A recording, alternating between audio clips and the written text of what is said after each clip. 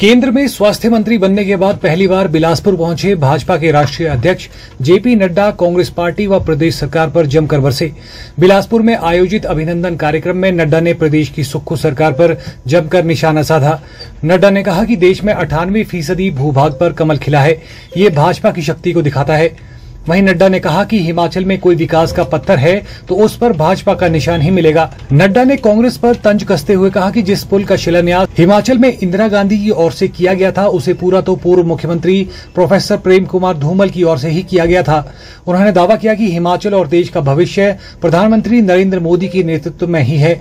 नड्डा ने कहा कि कांग्रेस पार्टी जहाँ भी होती है, वहाँ जातिवाद, अलगाववाद राष्ट्र विरोधी तत्व विराजमान होते हैं। कांग्रेस पार्टी का काम भाई को भाई, मज़हब को मज़हब से लड़ाने, तुष्टिकरण, भाई भतीजावाद की राजनीति करना है। उन्होंने कहा कि अमेरिका, चीन, ऑस्ट्रेलिया व जापान की आर्थिक स्थिति चरमरा रही है। वहीं भारत पूरी दुनिया में जगमगा रहा है।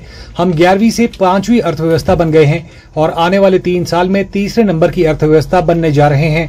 मैंने आपको कहा, कांग्रेस का मतलब करप्शन, कांग्रेस का मतलब क्रिमिनलाइजेशन कांग्रेस का मतलब कमीशन और कांग्रेस का मतलब है making people drug addiction drug addict कर जहाँ जहाँ कांग्रेस की सरकार रहती है, बताओ वहाँ ड्रग का धंधा बढ़ता है कि नहीं बढ़ता है? ये चिट्टे का काम बढ़ता है कि नहीं बढ़ता है? और आप लोगों ने देखा कि नहीं देखा कि नेता भी संलिप्त है? जाना कि नहीं जाना कि नेता भी संलिप्त है? मैं आपको बताना चाहता हूँ कि एक कांग्रेसी नेता की उत्तर भारत में पकड़ी गई ड्रग्स कितनी है? पाँच हज़ार छह सौ करोड़ रुपए की ड्रग्स पाँच हज़ार छह सौ करोड़ रुपए की। और उसमें कांग्रेस का नेता संलिप्त पाया गया कांग्रेस का नेता उसमें पाया गया आप बताइए, क्या होगा हाल हरियाणा का? क्या हाल होगा पंजाब का? क्या हाल होगा हिमाचल का? क्या आप चाहते हैं कि आपके बच्चे बच्चे ड्रगिस्ट बने? क्या आप चाहते हैं कि आपके यहाँ ड्रग आए? क्या आप, अगर आप नहीं चाहते हैं तो एक बात आप ध्यान में रखिए, कांग्रेस आएगी तो ड्रग वालों को बढ़ावा मिलेगा। और इसका जीता जागता प्रमाण हमने एक बार नहीं, बतौर एमएलए भी देखा है मैंने मैंने देखा है, अपनी धरती पर देखा है। इनको लगाम लगाना हो तो कमल खिलाना होगा, कमल खिलाना होगा, कमल खिलाना आज Himachal 100 percent open defecation free हो गया है। और मुझे बड़ा आश्चर्य लगा यार, सुबह सुनने को मिला कि सुक्खू जी को देखो, उसने टॉयलेट पर भी टैक्स लगा दिया।